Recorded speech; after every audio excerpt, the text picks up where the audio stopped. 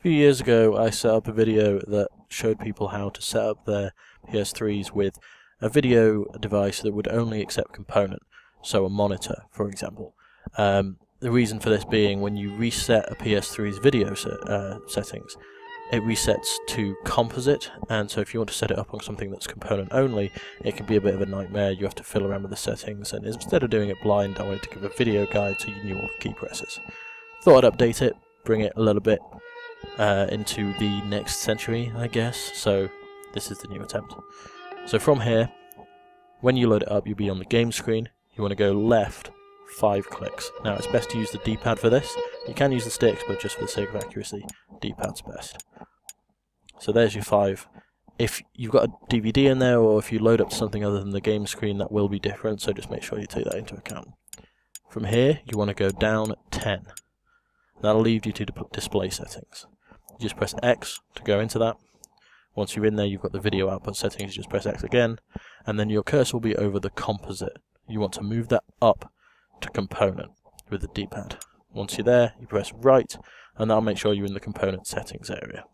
You'll get a quick warning, do you want to change this? Just press X to proceed, and then after that you'll have one of the timer screens counting down, can you see this? You won't be able to, but just press left on the D-pad and say yes with X. You'll then get a list of resolutions. It'll be 576p, 720p, 1080i and 1080p. Now you'll want to check with your TV which one of these these supports. If you're not sure, go with 576p, but you can always restart this video and go through the steps again uh, and go by trial and error what you'll uh, from what it can support. Your cursor will be across standard PAL, which will be the top of the list but you want to move down onto 576p, select it if it can do it with X, then move down onto 720p if you want to use it, press X.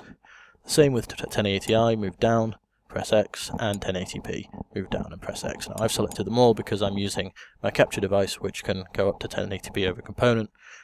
If yours can, great. If not, make sure you're selecting what you need.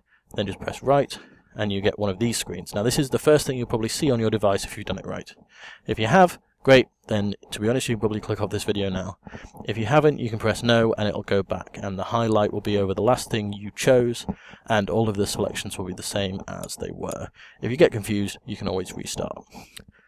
Right here press the X button to save your settings and then you're good to go. You can also change your audio settings but to be honest you don't really need to. Um, it's up to you. You don't need a video for that because you're already all set up.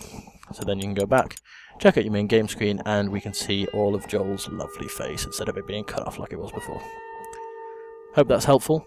It definitely helped me. I was using my own video to set up my PS3 when I was moving from monitor to monitor, but uh, even if it's not been helpful for you, it has been helpful for me. Thanks guys, take care.